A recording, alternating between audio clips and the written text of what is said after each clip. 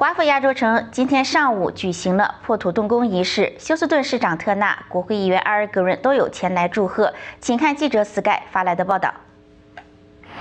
Good morning, everyone. Uh, Houston City Mayor Mr. Turner, Congressman Al Green, Director General of Taipei Economic Office Mr. Robert Low, State Representative Gene Wu, Houston Police Chief Troy Finner, and uh, County Commissioner Jack Cagle, and also City Council uh, Edward Pollard.